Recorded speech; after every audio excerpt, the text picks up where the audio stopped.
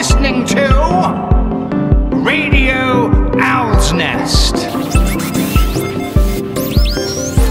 The songs of Martin Page, all day, all night, forever. So grab a cup of tea, settle down with us in the Owl's Nest.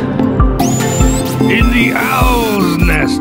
Hello, everybody. This is Martin Page. You know, just thinking, we've had this theme music for over two years, and I remember when uh, lots of shows like Doctor Who and BBC shows every now and then used to change their theme music, but I'm too bloody lazy. So we're going to keep the same uh, theme music. And I asked my manager and a few friends, should we change the music? And they said, oh no, because they won't know what it is and you'll just be effing about. So we're going to keep the same theme music. Welcome, welcome, welcome. Uh, another episode of Radio Owl's Nest. I've got to tell you, when I was a young kid, you know, I'd only uh, stay with certain things for a period of time. If I got a job, I'd stay there for maybe one day or three hours. If I joined a football team, I'd leave them after about mm, an hour. And uh, if I had a girlfriend, I'd hold on to her forever. No, um, but I was always moving around and changing things. And so with Radio Owl's Nest, when I thought I would start it, I thought I'd probably only do one or two shows. Well, here we are going into the mammoth, I believe. Uh, Abundance is grace. Who's that? Abundance is forgiveness. Who's that? Abundance is mercy. Oh. Abundance is redemption. Oh, that's the mad nun. Uh, I absolutely don't know where that mad nun is. She's probably uh, hovering horizontal above me now. Quite creepy. In the background, you can probably hear my washing being done. Yes, in the Radio Owl's Nest, we do everything.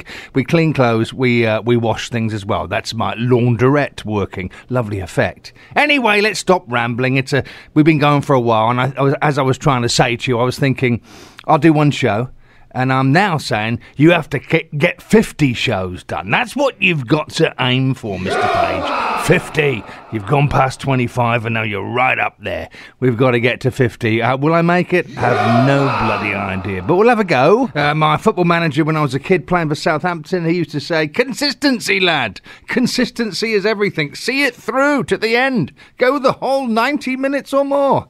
So I can remember that, and that's what we'll do. We'll aim for the 50 mark. Let's play some music. This is my demos, uh, a, a, podcast for songwriters. I go back and I find all the oldies uh, that haven't been played before, never released, never heard, and I have some fun playing them to you. And I'm going to play you a very rare track written with the great Billy Burnette in the 90s, and he was had just joined Fleetwood Mac, and we know Fleetwood Mac changed their guitarist every 30 seconds. The band was always changing. You never knew who was in the band from one day to the other. Well, Billy Burnette was uh, put forward to me by a publisher because uh, Fleetwood Mac had chosen him as a, one of the new guitarists, and they said, go and write with him. And I thought, that'd be pretty cool, wouldn't it? Fleetwood Mac. I'd like to get on one of their records. So Billy Burnette, oh, I mean, lovely man, turned up in a beautiful Corvette, a real ancient, vit- vintage, beautiful Corvette, and... Um, he had all the uh, trappings of looking like a rock star. I suppose Fleetwood Mac looked for that. And uh, he was just a great, great guy guitarist, singer, all rounder. And he had beautiful hair. I remember that. He was like a rock and roller. The hair was just flowing and pushed back. And we got on. We had a good giggle. And the first song we wrote um, on my 16 track, I had it in the studio, was a song called If I Fall. I'm going to play you the rare demo, the analog demo now, from a cassette. remember those. And this is Billy Burnette singing the song.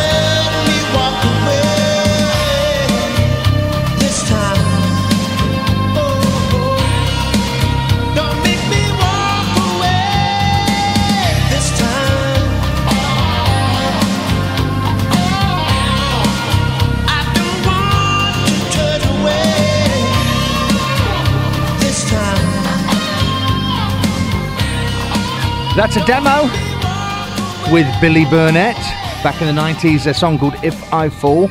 Uh, he was trying to get some songs on the Fleetwood Mac record they were making then after he just joined the band. And uh, we were doing all those harmonies, trying to simulate what the band would actually do. And uh, really great to work with Billy. Um, very easygoing guy. So California. And uh, it was really uh, good to just plug his guitar in and go for it. Um, as you can hear in the background, that is my dryer. That is my dryer drying my clothes. And there's something wrong with it. There's something wrong with its mechanics and it just keeps on making noises like I've got a slaughterhouse in the back of the owl's nest. But I haven't, so ignore it. It's just imagine that we're in a I don't know um, new wave movie with machines moving around, a scientific kind of sci-fi stuff. Uh, I have to dry my clothes anyway. That's if I fall with Billy Burnette, the first demo I'm playing you today. Here are true facts about the owl. The owl's face is basically like a giant ear the specialized feathers of its facial disc channel sound to its ear holes like a fuzzy satellite dish. It's nice to have the owl man back again with all the facts about the owls, isn't it? It's quite nice to have him back. And uh, uh, my face is pretty flat. My eyes are bad. I can't see very well, but my ears are fantastic. So that's probably why I have a flat face, and I am related to the wonderful owl heads out there. I'm gonna play you something really, really, I keep on always saying this, but this is truly rare. Um, it was a demo I wrote with Bernie Taupin uh, right around the time just after I'd written We Built This City and These Dreams with him, and we were beginning to uh, learn about each other and write quite a bit of material. And he trusted me and he was sending me lots of faxes with lyrics on. And this is a song called Ball. Um, and I was, as you can tell with the demo, it was just the first time I was working really on a Fostex 8 track which I'd done the demo for for We Built the City and These Dreams. And so it's uh, you can hear it's a Fostex eight track quarter inch demo. But um, I was in the vibe of sort of doing a kind of um, Tears for Fears track. I was really into that triplet rhythm and and uh, swing rhythm, and uh, I thought the lyrics were fantastic. Anyway, I'll make excuses for the rough demo when we first got together. I was using really bad microphones, bad everything, but I was playing a bit of guitar with a cheap little amp, and, uh, and I was using my LinnDrum, and I was using a Jupiter 8 to do everything. So let me play you this uh, demo never ever heard by I don't even think my publisher. Uh, a demo called Ball.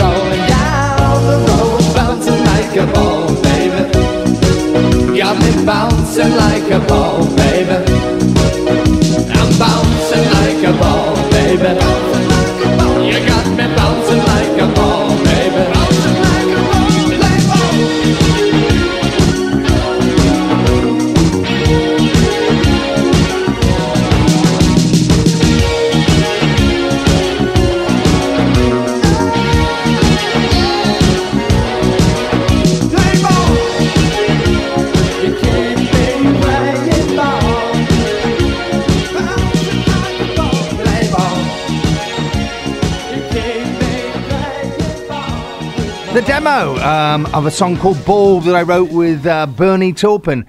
Uh, listen to that in the background. Listen.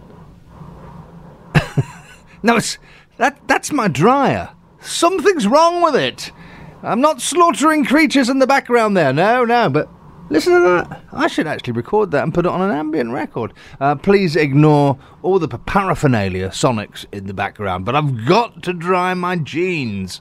Uh, that's a song called Ball, um, and I wrote that, as I said, with Bernie Taupin, and I uh, had a real, for me, sort of 80s uh, Tears for Fears vibe for it. We had a lot of interest in that song. It was circulated uh, around all the record companies, and everybody took interest in it, but nobody recorded it. And uh, um, I'm I'm enjoying listening to it again and all the little keyboard parts. It was around that time, you know, when you had bands like uh, Acadia and uh, but everybody was sampling things, so you would always put a little bit of air and distortion on the keyboard sounds you were doing, and um, I enjoyed looking for those kinds of melodies, uh, uh, using those kinds of synthesizers that you played with and joined to samples. Um, that's a song, yes, right back in time called Ball.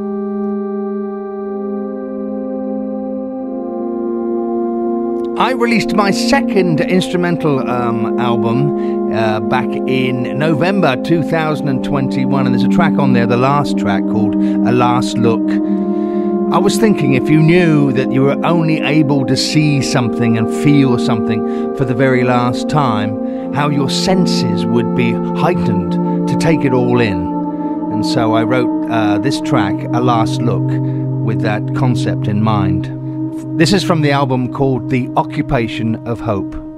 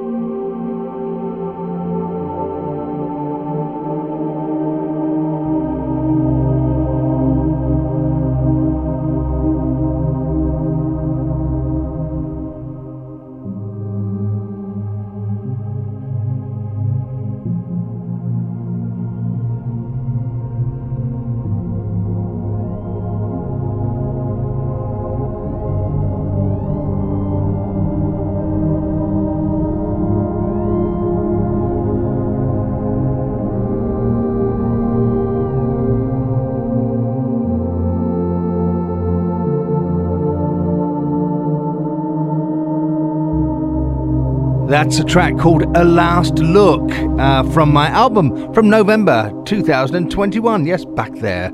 And um, it was uh, on an album called The Occupation of Hope. I was also reading a book about animals and how sometimes you can tell when they feel like uh, their lives are coming to an end and they start to look um, uh, at walk around the house and check the garden out and tend to take things in a, in a different way. And I remember with my cats, I used to sense that they were giving a, a last look to all the things that they loved, and uh, that's the feeling I got. Anyway, um, wanted to play that to you.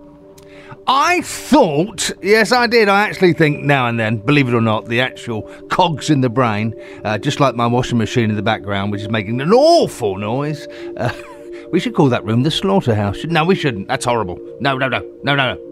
Um, but my brain sometimes ticks over, and I thought uh, I should tell you some things about me that you probably don't want to know, but you might want to know. Um, I remember uh, a great, great, great supporter of me, Joseph Kaczynski, said, you know, I missed the quiz. the poor man, the poor man. If he missed the quiz, I don't know what his life could have been like. Um, extremely boring, I would imagine. But anyway, I thought, well, um, with that little prompt from Joseph, I thought I would tell you a few things um, that you might not know but might find fascinating. Okay, number one, number one. What's my favourite key in music? Uh, what's the uh, the key of music that I use most in my songs? What's that, eh? Well, I'm going to tell you. It's E flat. Yes, E flat. Um, and Beethoven uh, loves E flat. over the years, I've been able to really tell how uh, keys in music, tone in music, the keys, the chords you play in a certain uh, key um, affect people. And I can hear it, and I can hear how um, A sounds different to E flat. E flat has, a, t- for me, a tremendous uh, richness to it, um, and, and the corresponding chords B flat, C minor, A flat. There's a deepness, there's a richness in in uh, in the tone to me, and I can I can feel it. And some of my, uh, my uh, best songs I think I've written, like Fallen Angel for, with Robbie Robertson, yes, E flat, and even Dancing in Heaven with Q-Feel. We're talking about A flat and a C minor vibe there. So a lot of my songs are written in E flat. I think Robbie Robertson was once interviewed and they said, How come the songs that you write with Martin Page are in E flat? Even uh, Sign of the Rainbow on his album Storyville. And he says, I have no idea, but he, everything he brought to me was in E flat. Maybe that's the only key he can play in. Um, no, I can play in other keys, but. Uh, uh, e flat is my favourite all time key to go to because it's rich, deep red, and uh, it vibrates with a earthiness. Okay. Uh, fact number two. Uh, on my album, In the House of Stone and Light, there was a guitarist I was trying to get to play on that album. And uh, I wonder if any of you know the guitarist I was thinking about putting on my first debut album in the House of Stone and Light.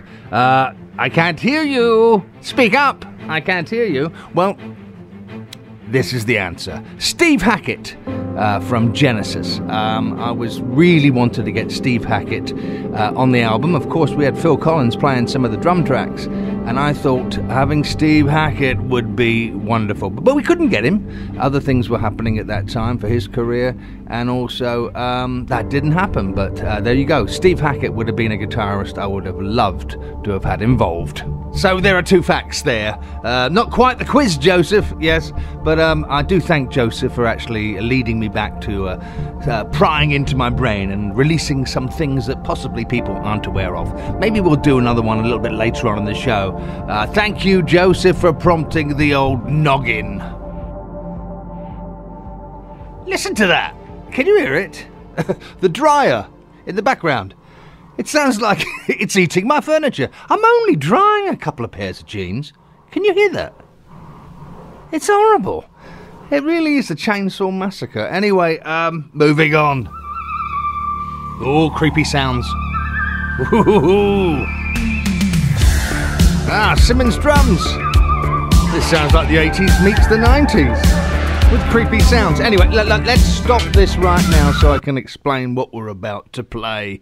Um, funny enough, um, it brings back memories of playing on Ghostbusters because uh, I did all the little weird noises uh, at the beginning and at the end of the track and all through the track, and even um, on the film uh, when Sigourney Weaver is lying on a bed and there's a ghost about to, uh, well, actually do some sexual things to her, it seems to be. But um, uh, yeah, all my little wiggles and everything that Ray Parker Jr. told me to do are on uh, Ghostbusters, and um, now it's an airplane going over. Listen to that.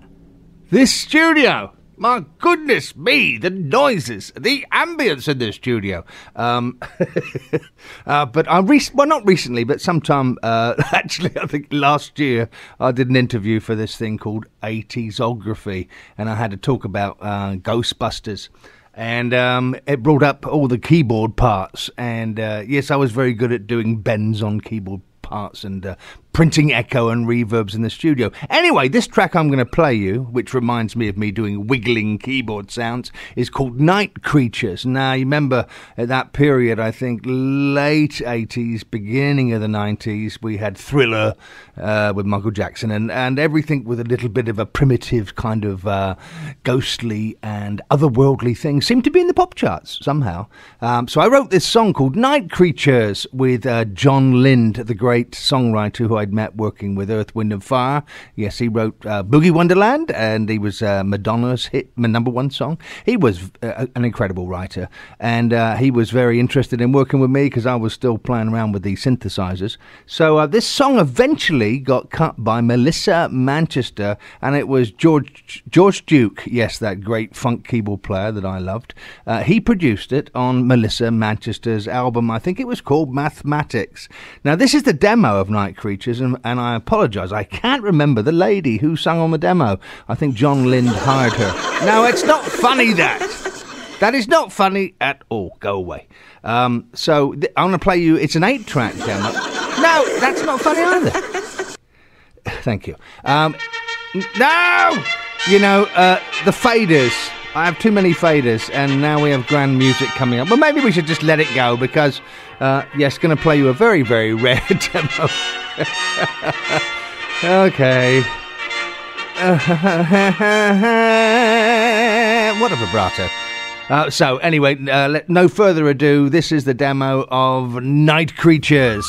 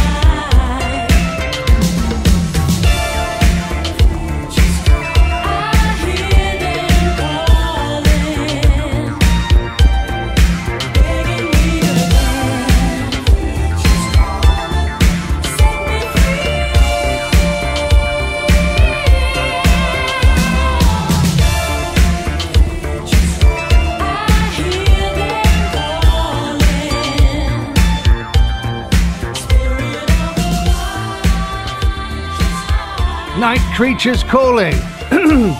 Me with my wiggly keyboards, bending, modulation. And that was a period when I fell in love with uh, a diminished chord that I used nearly everywhere. And you can hear that passing in this chorus. Uh, that was a time of Rod Temperton. Remember him, the bloke from Heatwave who wrote all those wonderful songs for Heatwave and Quincy Jones brought over to work with Michael Jackson. And uh, we were trying to touch that uh, spirit of that mood. Um, actually, funny enough, at that time, if you wrote anything, that had a creature in it or it had instinct in it, like Animal Instinct, I wrote, you had a chance of getting your song cut. Uh, anyway, that was, uh, uh, reminded me, uh, we did that with a drum machine, but we made sure that we played the electric uh, fill drums, which were called Simmons, live. And we hit cymbals live as well, so that you could make the drum machine feel like it was being played by a real person. And there was a, a liveliness and a openness and a feel in the track. And that's Jon Lind singing some lovely harmonies in the background. And we have, uh, there you are, the premiere, never heard before, the demo for Night Creatures, wiggly keyboards as well. Can you hear that? It's getting louder. It's coming through. It's getting nearer to me. It's going to chomp me up. My uh, my washing dryer. Uh, if if this show ends early, you know what's happened. I've been eaten by the yeah the washing dryer. Now that's the real sound of an owl. Check this out. Yes? Believe it or not, that's the sound of an owl. And this is. Believe it or not, I want you to learn. Learn. Listen to the owls. Take it in, children. That's owls at night. Let's hear it one more time. Abundance is grace. No, not you, not you, the mad nun. Abundance is Oh, mercy. for goodness Abundance sake. I've got the gardener now, listen. The gardener's outside blowing bloody leaves. What is it? Listen. Okay, why don't you all come in? I mean, bring the gardener in, bring the mad nun, and bring the damaged dryer in. Let's just finish this now. That's the sound of a jukebox. This is an effects record, isn't it? At night with crickets. And this is Delta Jukebox from my album, Hotel of the Two Worlds.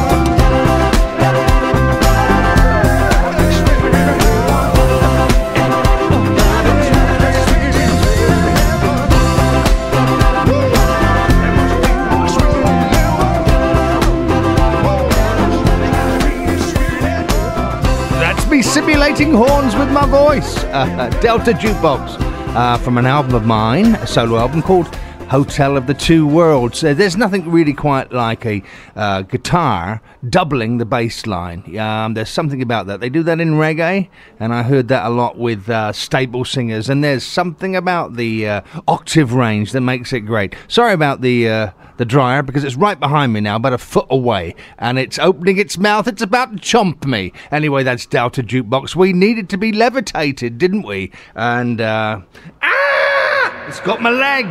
Hi, I'm Trevor Thornton here with Martin Page in Owl's Nest Radio. I'm the one who sits behind him and plays all the pots and pans and makes all that lousy noise. It's true, it's true. We never gave Trevor a drum kit to actually play, uh, even in the Q-Feel days and all the recent stuff. We just gave him kitchen pots and pans. I mean, it's a budget, you know what I mean? You don't want a full drum kit for Trevor. So, uh, yeah, pots and pans, gotta keep the budget down. Anyway, how about the 80s?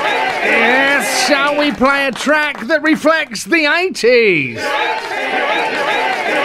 I have this alter ego band you probably know about, Zeke Monroe and the Flashheads. Here's a brand new song, very 80s. We have Feeway Bill meeting Bela Lugosi again and Paige. This is called I Am Yours.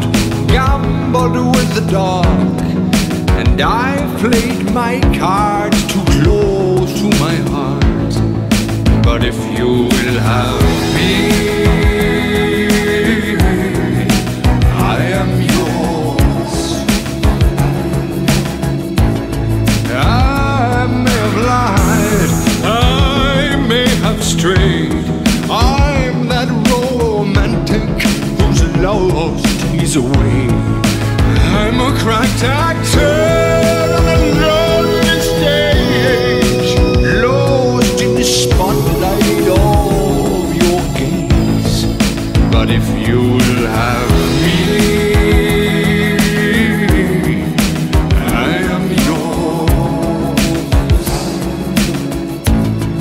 And if you will take me with all of my flaws, I am yours. So where's Casanova? Now Cupid has flown.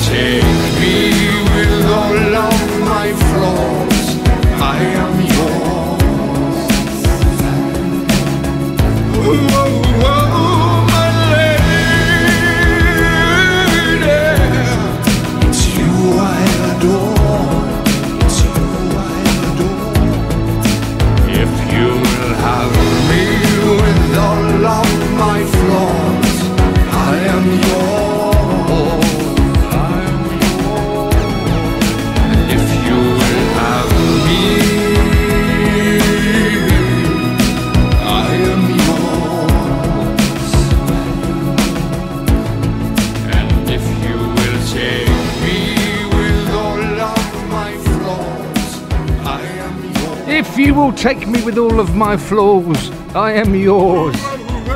Ah, I never knew that Bela Lugosi could sing so bloody well and be such a romantic. That is Zeke Monroe and the Flashheads and a new track that I've just uh, put together called I Am Yours. Can you still hear it? I'm only drying a couple of pairs of jeans and it's been going for over 45 minutes. Good gracious, what a bloody noise! It is, as I said, uh, a creature eating all my uh, furniture. it's eaten my left leg, um, and it's still trying to eat my jeans. I think I need a repairman. When they aren't being quiet, owls make a wide variety of sounds.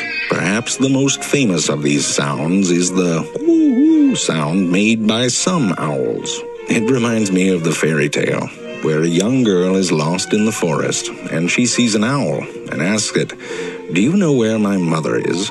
And the owl responds, Why the hell would I know where your mother is? Are you stupid? And why are you fairy tale children always getting lost in forests and hallucinating about animals that can talk? And then the owl swooped down and ripped the little girl's face off and ate her eyeballs. And then the owl hooted. Hoo hoo. It's a German fairy tale, so it's a little dark, I guess. Maybe it's the translation. Nope, not the translation. says right here, rips her face off. Oh, oh god, there's even a picture. Just remember, don't do drugs, because an owl may just rip your face off. Thank you, Mr. Owlman. Uh, very tasteful, Owlman. Thank you for that. Well, this is a pretty special moment because I did find uh, some four track demos that uh, Brian Fairweather and myself made in an, a little Islington flat back in London uh, in the uh, late 70s before we even became songwriters. When we were just starting, we had a TEAC four track, we had a Fender Twin Reverb that uh, was just an amplifier that everything went through our vocals, our guitars, our bass, um, us playing drums on our legs with a little tiny little drum machine that we borrowed from somebody, and we were making these demos to try and get a publishing deal, and uh, it eventually uh, led to us after about a year getting a publishing deal with Zomba and a record deal with Jive Records. But we were doing all these little demos in my little upstairs flat uh, in this house, uh, 9 Ockendon Road in Islington, yes. I'm sure it's become very famous because that's where we made our noise and started it all off from. But we made all these demos in a very, very small place. And of course, on a four track, after you've done a couple of tracks, you've got to bounce it down to one, then do a couple more tracks, and bounce it down to one. So you're constantly losing generations uh, on the tape machine, and it gets rougher and rougher. And you have to try and really balance how you're going to do these uh, bounce downs of tracks. And you have to make sure that, oh, oh, oh, hang on, listen, silence. Silence! My jeans are dry. Uh, just wanted to tell you, I can hear that the uh, machine that was uh, eating the world has uh, eventually stopped and it has dried my jeans. I'm so happy. Anyway, back to the four track demo. I'm about to play you something which was right uh, at the beginning that Brian Fairweather and myself got together um, just before Q-Feel even, and we started to learn how to write songs together. We just met each other in a band called CMB, the Charlie Mullen Band and we decided the thing to do is be songwriters. And so we were learning our trade. You'll hear here that Brian's doing some wonderful guitar parts, which sound like a 12 string guitar. And we were really trying to impress everybody. It's a really a naive demo, but you can see really where we're coming from. And again, I feel quite naked playing this because this is sort of stripping the skin back and saying, uh, let's let everybody hear everything from where we started. Um, Brian is singing the song, and uh, and we even doubled him, and then I, we did some harmony. So you can imagine we probably bounced tracks down about three thousand times, and so that's why the quality is so bad. And then it went to a cassette. And that's what I'm playing you, the cassette. So this is the original demo of a song called Movie Star when we were just babies trying to learn our trade.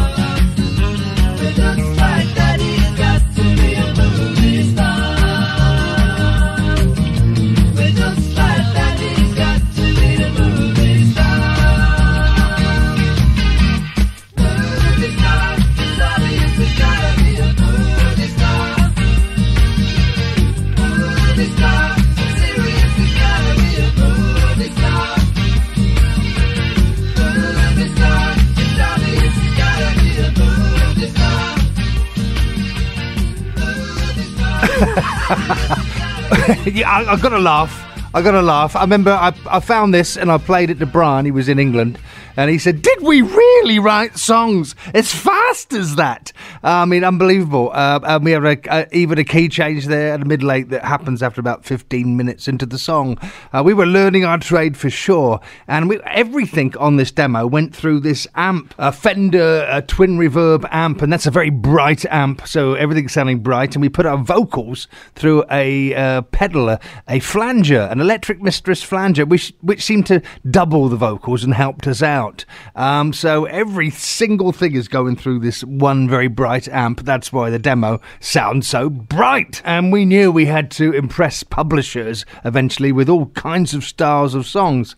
And you're thinking there, that's we must have been listening uh, to very very fast music and Elvis Costello and uh, you know all the stuff that was happening in London around that time. And uh, when I think back now, you know our vocals were all done through one microphone live, and we used to master down to a cassette deck. That was our mastering. And to get reverb and echo on our vocals, we used a Revox Studer machine. Um, just to, and if you put it into record, you could uh, run it uh, at the same time as, as your vocals, and you would get a kind of close delay. And I'm actually looking at that Revox tape machine now because I still have got it, and you can hear it there for just a, a brief moment. That's the effect we were going for. I feel very brave, and I'm sure Brian does as well, although I didn't tell him I was going to play it to you all, uh, that we're playing something uh, so raw from the days we thought, we want to be songwriters, we better teach ourselves. And P.S., the little drum machine you can hear there's one of the first ever, ever drum machines made by Roland. It's a CR68, and you just had little knobs on it, uh, little buttons that you push to do little fills and everything. Uh, very cute, but uh, yes, the beginning of time. And by the way, um, I got to say, if you listen to those lyrics, you can tell that we even wrote thinking that a woman would be singing the song or a female version. Uh, so that's Brian being a female and doing it pretty well, I think. Here are true facts about the owl. This owl is an ambush hunter. What makes her so deadly? She's not the fastest, but she has a different advantage. It's stealth, not speed, that makes her lethal. Ah, a female owl. I think that's appropriate after hearing Brian sing as a female. I'd like to play you something. Um, I'm just finished. It's uh, a new song, and uh, I feel very uh, good about it. It's a song called Children of the Desert. I'm putting together an album which has the tentative title of Zero at the Bone. It's um, a meditation, really, on the journey that uh, Mexicans have to take uh, across the desert to get across the American border, and the suffering and the turmoil and uh, the terror that these people must go through while seeking a new life and a new start. And I wrote it really through the eyes of a child, traveling with a parent and um, making this massive, frightening journey and uh, seeking dignity, really, and freedom and a brand new life. So here is a new song called Children of the Desert.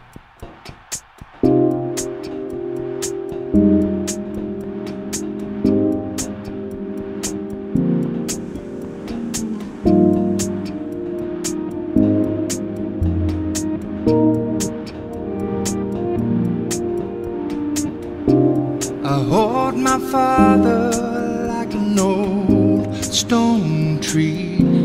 I hold my breath folded like silk until I cannot breathe.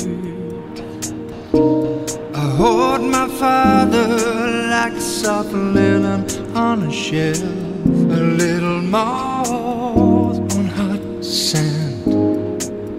You'll learn to hold your breath. We are children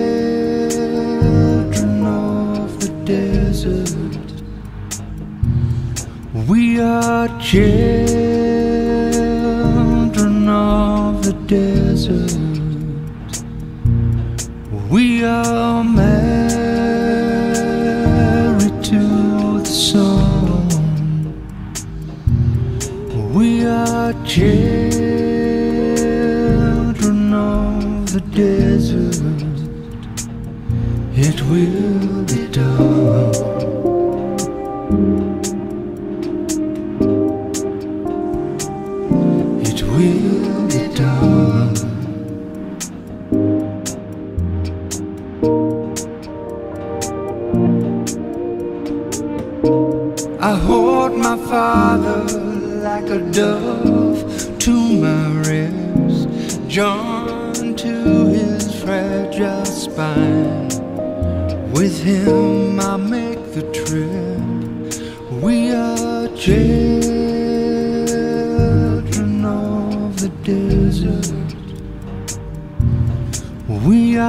children of the desert. We are married to the sun. We are children of the desert. It will be done.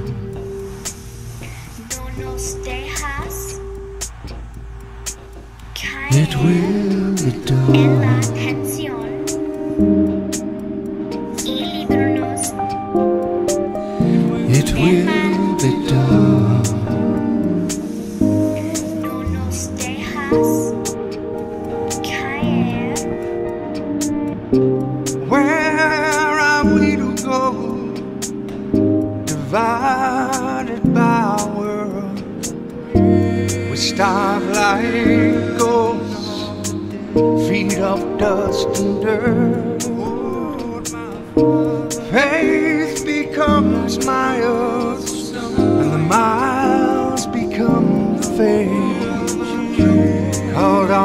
The stars,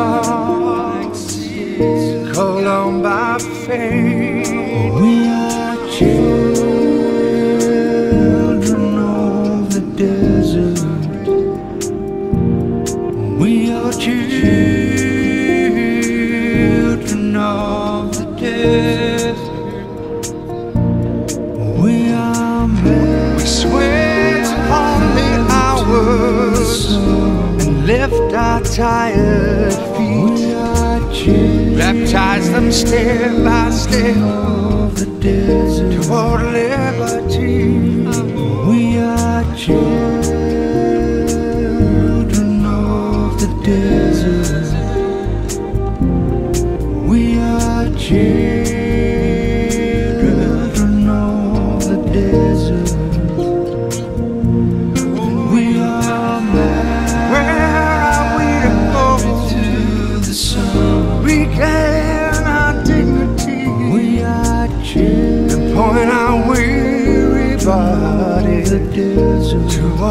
Eternity. It will.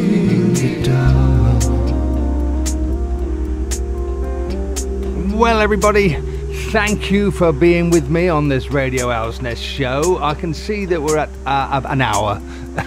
You've had enough of me, I'm sure. That's a brand new song called uh, Children of the Desert. And uh, thank you for letting me play that to you. I've got to say, I had a lot of fun on this show, really did.